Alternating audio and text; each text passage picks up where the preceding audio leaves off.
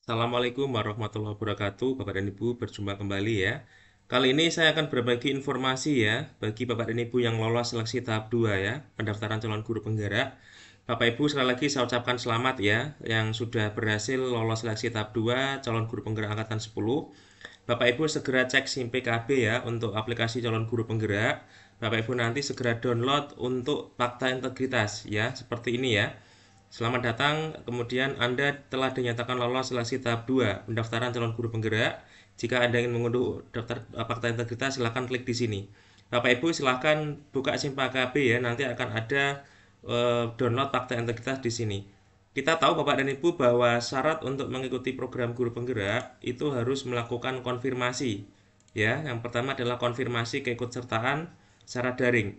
Yang kedua adalah mengunduh, mencetak, dan mengisi ya, serta menandatangani di atas materi 10.000 dokumen fakta integritas. Bapak Ibu silahkan uh, download ya. Nah seperti ini nanti Bapak dan Ibu di sini ya linknya. Kemudian bentuknya kurang lebih seperti ini. Ya ini adalah fakta integritas saya yang sudah uh, saya buat dan saya upload kemarin ya.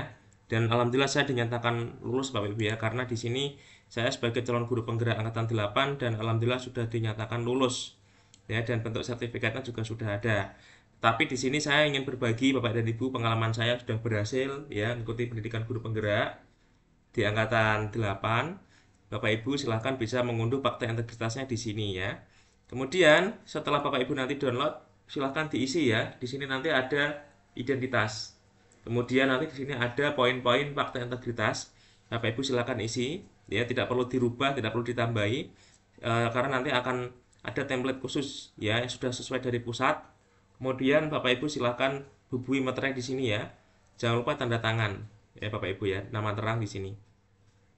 Kemudian sebetulnya nanti juga akan ada e, surat izin atasan bapak ibu ya. Nah nanti akan ada surat izin atasan juga seperti ini.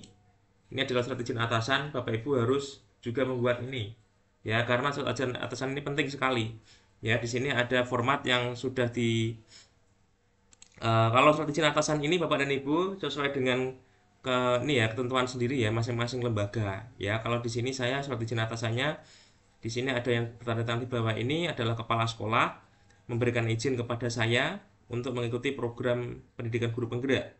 Ya bapak dan ibu silahkan.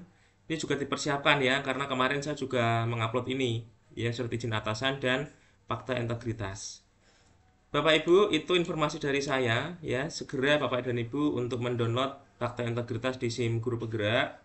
Bapak Ibu yang dinyatakan lulus seleksi tahap 2 calon guru penggerak angkatan 10, saya ucapkan selamat.